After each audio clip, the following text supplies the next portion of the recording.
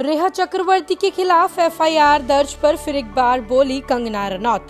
साथ ही साथ दिया निशाना सुशांत के परिवार पर भी। सुशांत के निधन के मामले में के के सिंह द्वारा रेहा पर पैसे हड़पने के इल्ज़ाम लगाए गए थे। तो अब कंगना की टीम ने ट्विटर से जानकारी शेयर करते हुए कहा कि बड़े दुर्भाग्य की बात है कि सुशांत का परिवार सिर्फ़ पैसों की ओर ही ध्यान दे रहा है, जिसके चलते नेपोटिज्म भाई भतीजावाद इनसाइडर, आउटसाइडर, ये सभी पोस्ट इग्नोर हो रहे हैं।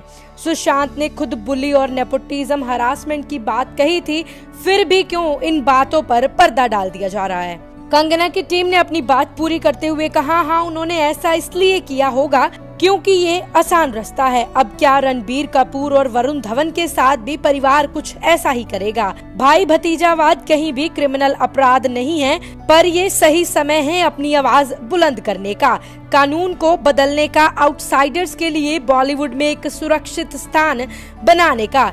ताकि आने वाले समय में किसी को भी इस मार का सामना न करना पड़े। अगर अब भी बॉलीवुड माफिया और गैंग पर गौर नहीं किया गया तो ये कीमती समय हाथ से निकल जाएगा। यही समय है अपनी आवाज़ बुलंद करने का, अपने हकों की लड़ाई लड़ने का और सुशांत को न्याय दिलाने का।